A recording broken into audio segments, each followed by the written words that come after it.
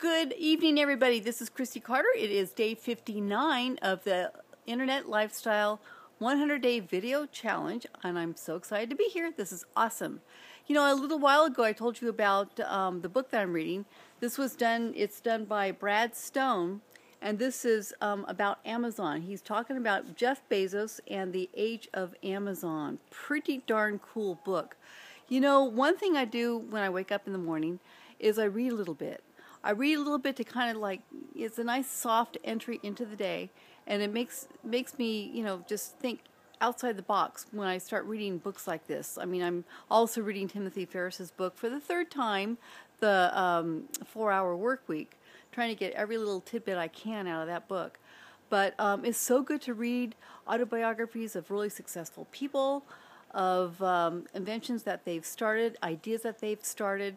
Jeff Bezos is an amazing guy. I don't, don't know if you know this, but he's known for his really funny, cackly, loud, um, almost like a screaming laugh. I mean, he's actually known by, by his laugh. And he's a tenacious, extremely driven guy. And uh, I mean, his company, when they first started, wasn't making money at all. Was, in fact, he was losing money. He's losing millions. Um, but people could feel his sense, his drive. He went to venture capitalists in, San, San, in Silicon Valley. Um, it's I think it was Kleiner, Perkins, and Caufield, and um, they really did. They they loved his energy so much that they went ahead and gave him millions, like the first three years or so of his startup. So it's pretty darn awesome to have that drive, to know that people are out there doing this stuff. I mean, they were losing money and they still got millions of dollars because these people believed in this guy, this this guy Jeff Bezos who started amazon.com. I mean, how cool is that?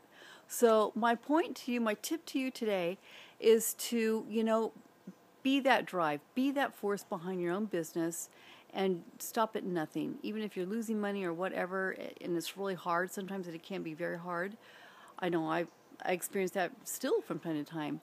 But you know, hang in there, guys. It is so worth it. You know, having the time freedom, having your life, your unlimited income, and great things happening. You know, giving value to people is incredible. You will be giving valuable valuable information and changing people's lives.